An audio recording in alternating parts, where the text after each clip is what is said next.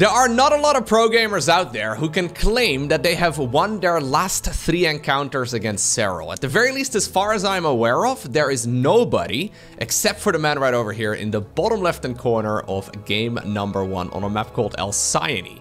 Playing with the red Zerg pieces from South Korea, we're looking inside of the main base of Solar. Now, this is a strangely timed drone. Ah, okay. Now that's a strategy we don't really see all too often. I mean, I know that Bly recently picked up StarCraft 2 again. I can imagine that this is a build that Bly would be very fun to go ahead and give a try, as Solar decides to go for a gold rush.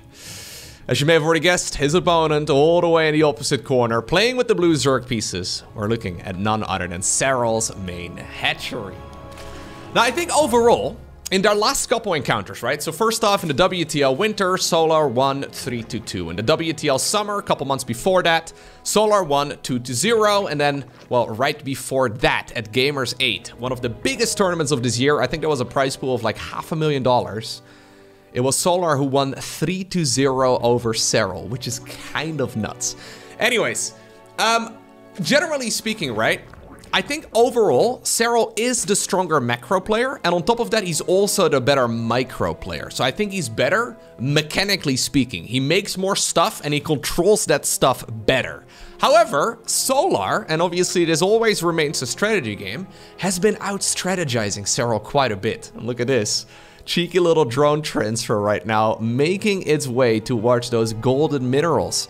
And once again, Solar is exactly trying to do that. He's not even playing the matchup, he's not playing the map, he's very much so playing the opponent. He knows that Serral generally doesn't play an aggressive game. Like, Serral scouts this right now. Clearly, this is something he has seen before, but how in the world do you respond to this? I mean, there is gonna be a little bit of a dip in, yeah, as far as the income goes here for Solar, because he has to transfer those drones. But now, for the foreseeable future at least, he's gonna have a steady improvement as far as the income goes compared to his opponent, despite the fact that even at this point, Serral has slightly more drones out. I mean, it's even at this point. But when I started that sentence, at the very least, there was a very small deviation. Alrighty, so are we gonna... Yeah, we are. Are we gonna follow this up with anything aggressive as well? Because this makes a lot of sense in my mind. Roach Warren coming up. If Serral is the one who gets to be aggressive here, Solar is going to have to defend both his third base. I guess we can call this a third base. It's not really a third. Both his fourth base, maybe his fifth base, as well as his main. Like, that's too much distance to cover. He needs to go across. I mean, there's some rocks over here. Yeah, he starts working on those debris, so at the very least he can he can move units around. But I think being the aggressor here is way easier because, well, you get to just put all of your units in one big place, whereas if you're playing a defensive game, you have to be so cautious. Roach Warren coming up right now as well for Serral. I think this originally may have been a Evo chamber maybe, but I decided to cancel that and put down the Warren here instead. Excellent choice overall. But does he have enough? That's always the question. So, third base coming up for both players actually. Serral's is quite a bit sooner. Couple hidden banelings over here as well. I mean, hidden to the point where they are hard to attack right here for Solar. Yeah, not a lot of surface area. Queen over here out front. Good movement right here by Serral, but once again, this is a, a bit of an uphill battle. There's those roaches coming across. That being said though, that roach warren there for Serral was also quick, and this is something that Solar sees right now. He's gonna scout around the main base, okay. No lair, no Evo chamber, no nothing. Serral is committed to the defense here. Ha, yeah, do you really want to push up this ramp right now? I would be hesitant too.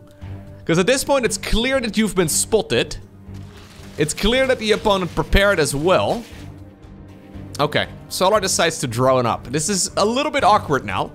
Because now we're at a point where both players have a massive army. But neither of them really wants to fight. so they've been making all these units. Yeah, Solar's just gonna make the march of shame all the way back home, it seems. Not really taking a lot of chances. A couple of his Zerglings do get caught over here on the left side of the map. Mm, okay. So apparently now Serral is the one who does get to be the aggressor, and I think that's basically exactly what Solar was trying to avoid, because look at the amount of space he needs to cover here. Lovely Overlord position as well here by Serral, so he can see everything, which is really, really nice. A couple Banelings morphing in on the right side here as well, and this may very well be something that Solar doesn't have vision of. Solar really needs to have Overlords out front. Okay, he's just splitting his units here preemptively. Trying to make sure that he does not get caught with his pants down. So far, those Banelings very conservatively being used. Man, both players have just been making a massive army. Okay, well, that's only a single worker going down. Not nearly as exciting as Serral was probably hoping for either. Maybe he should have gone for three Banelings rather than just the two. Solar has been catching a bunch of his opponent's units, though. That was a nice detonation on the Baneling. But Serral's been droning quite greedily on, on the back of this too, so he's got 37 workers right now. For there's only 29 for Solar. Solar did make drones, but not nearly as many as Serral's been producing. Spinecrawler's coming up, but I think the roach numbers right here for Solar may just be a little bit too big. We're talking 18 versus only 6. Solar playing mind games left, right, and center. Now morphing in the low HP roaches into Ravagers as well, trying to save those units by popping them into a cocoon.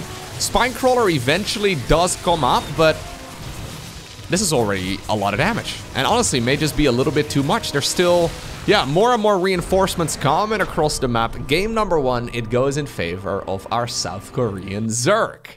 And he does so once again by playing very cheeky games. Okay, Game number two, we find ourselves on Oceanborn. Now, I actually saw a discussion in the YouTube comment section a couple of days ago. I think this was on an older video of mine. But people were talking about whether or not the pro gamers remember every single game that they've played in tournaments. I can guarantee you that, well, maybe for the guys that play tons of games, so the players that you see me cast all the time, some of them, they compete in literally a dozen tournaments every week. Maybe they, maybe they don't remember literally every single match. But guys like Serral, who compete in relatively few tournaments, I can guarantee you that Serral now realizes that in like the last dozen games he's played against Solar, he's lost like nine of them, okay? He must be aware of the fact that he has lost the vast majority of their games. As a matter of fact, at HomeStory Cup, which is uh, a StarCraft 2 tournament that I've been casting for years now.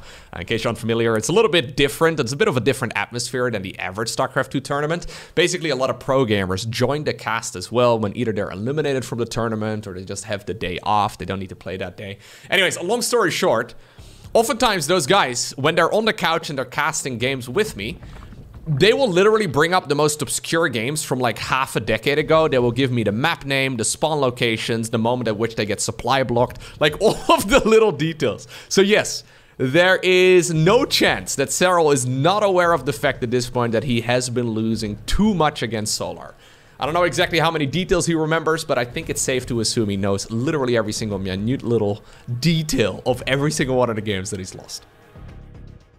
Anyhow, can he fix it, right? That's always the question. Can he fix the mistakes that he's been making and can he make it so that he does not lose games moving forward here? Because now Solar has got, well, two shots at obtaining the victory here over Serral. Okay. We've got ourselves normal builds here so far. Nothing all too crazy. Hatchery into a gas geyser into a spawning pool. No more 15 hatch shenanigans, by the way, from Serral. So he's not bothering with... Yeah, that's actually kind of interesting. So for a few months, he was playing 15 hatch in every single matchup. But now in the last couple games that I've seen him play, he doesn't play it a single time. I don't know, guys.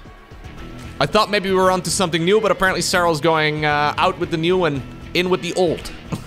Which is usually not what you do. But it may just be that the old stuff was indeed superior in the end, and yeah, we just uh, tried to figure out maybe if the new strategy was indeed a little bit better. Solar... Ah, Solar has actually been mining a lot more gas here than Serral. Yeah, so Serral pulled a drone out of gas. Solar must have had his drones in gas the entire time. He did go, okay, this is cheeky. He did go for, yep, there it is. Okay, this is a build that I've played quite a bit myself. So he went for the third base, as well as the Baneling Nest here, at what looks like a normal timing. So at this point, Serral's seen the timing of the opponent's third base, he compares it to his own, and he realizes, yep, everything's a-okay. In the meantime, on the back of it, we've had a lot of additional gas income, and now also a hidden Roach Warren. So this is Solar cutting a couple drones here to make sure that his opponent believes that this is once again a normal macro game.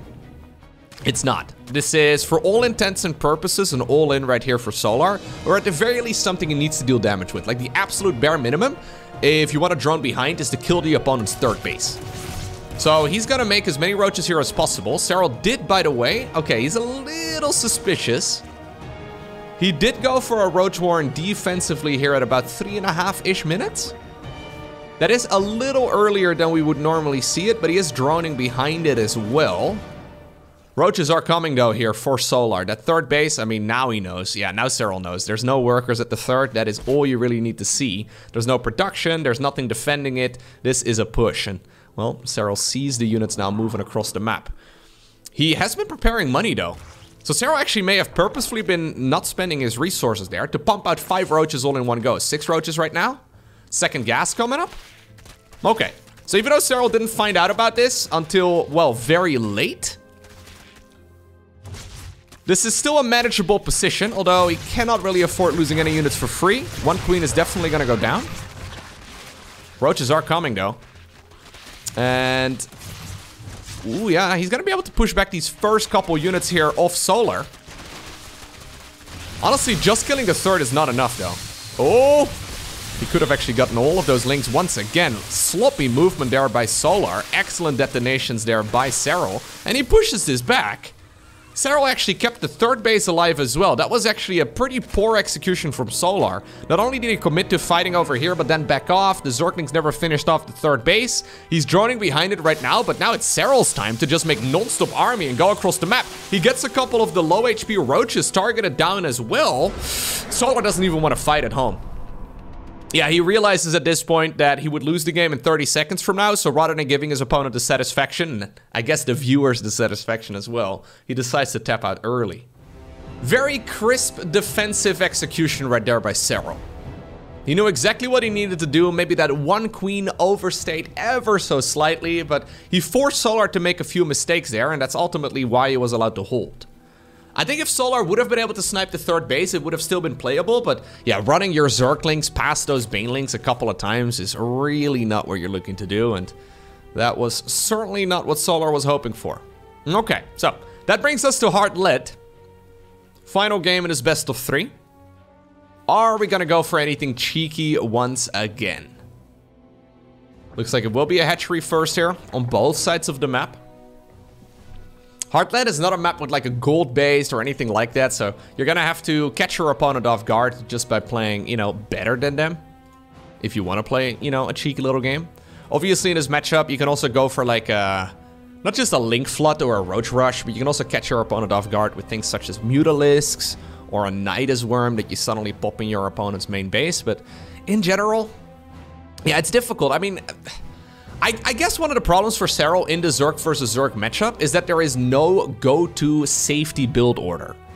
Right? So there's not a build order that is like a jack of all trades type of build where you're just sort of not dying to 90 plus percent of the build orders out there. Like you can do in Zerg versus Terran and Zerg versus Protoss. Like say for example, you face off against Solar in a tournament, right? And you're a Protoss player.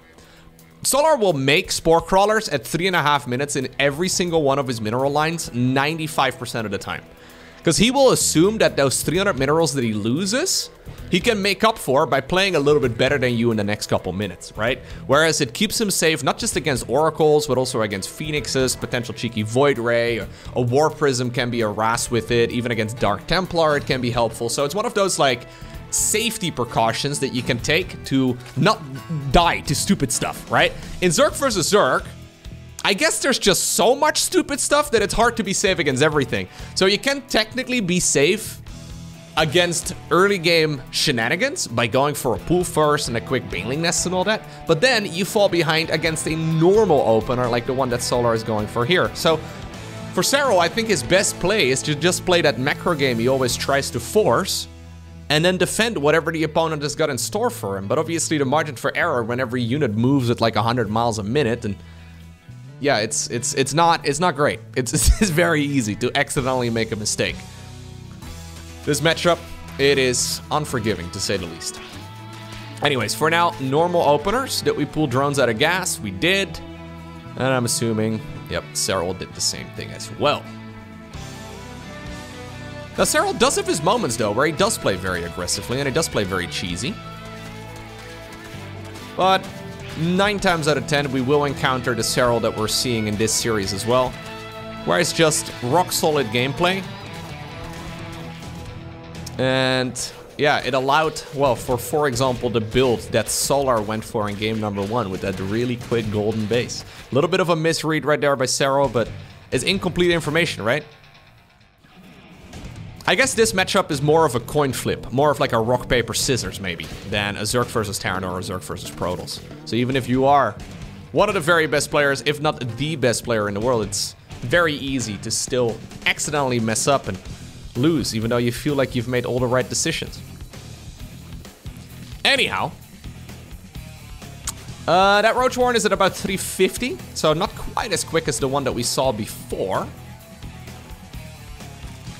We do have an Evo Chamber here, much quicker for Solar though. So Solar seems like a bit more comfortable here. Skirmish over here at the front. Banelings are gonna try and run into the natural expansion, but these get shut down easy peasy. Serral trying to create a distraction on the right and then move in on the left. No great detonation on those two Banes. Nah, excellent done. Excellent work right here by, by Solar. Shutting down everything with ease so far.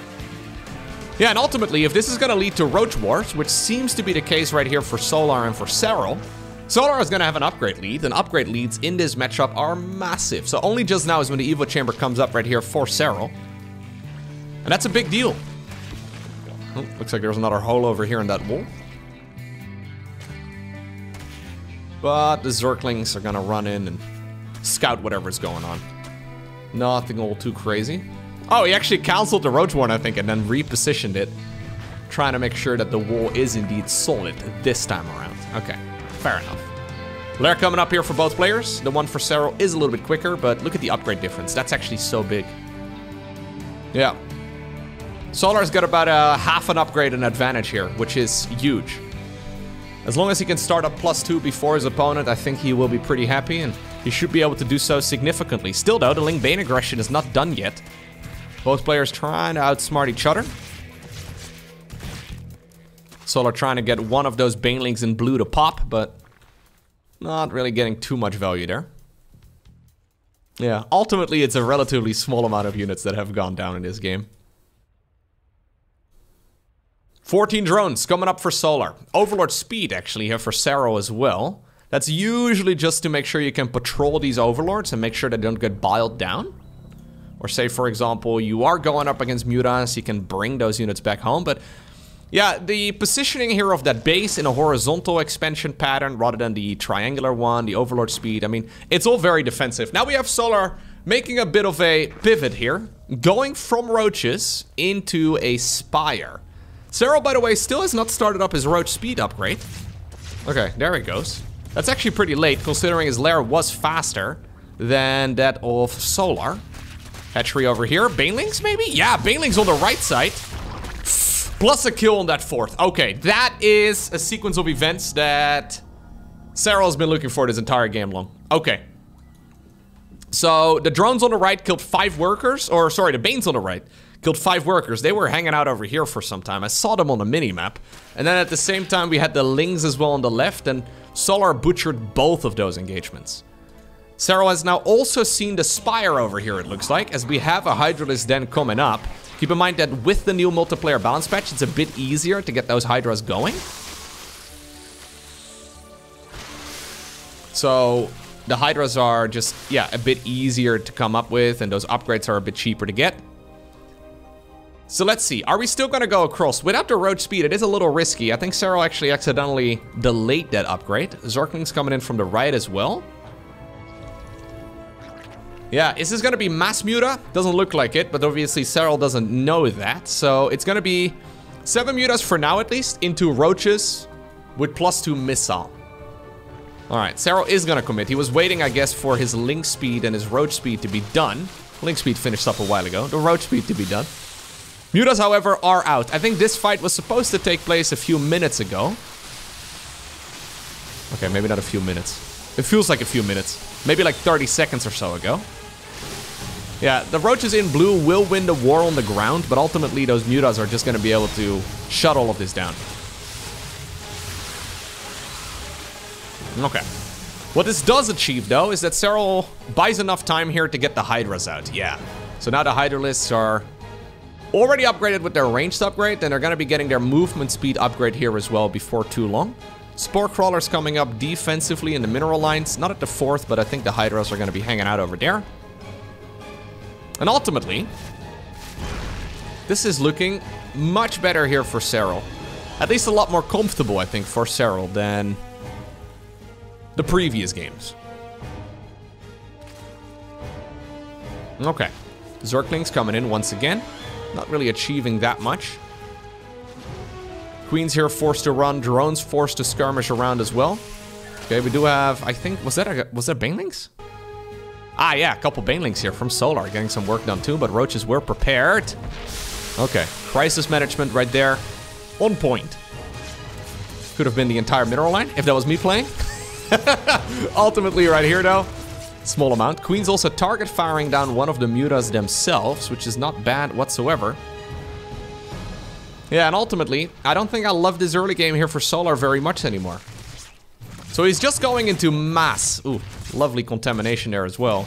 He's just going into, I mean, he's not contaminating anything because there was no upgrade going, but he's just um, going into mass roach Ravager from here, whereas Serral's got Roaches with Hydras. No Corruptors, or sorry, no Corruptors, no Ravagers either. But these fights are tricky, man.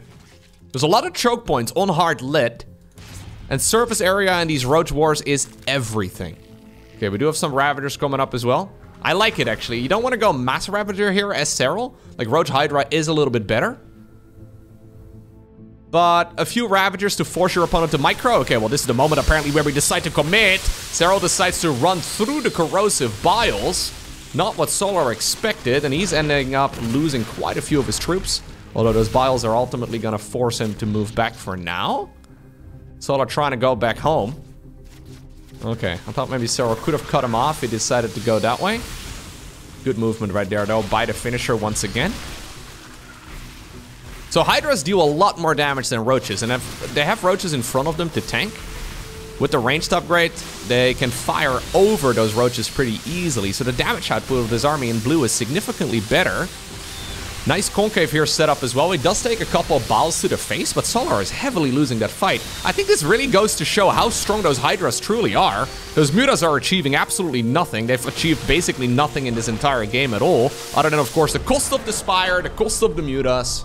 And ultimately, apparently, that's all that Serral really needs. In a straight-up macro game, he does seem to be the better player. Then again though, with a small few adjustments, I really think this could have been a 2-0 win for Solar instead. Remember that previous game?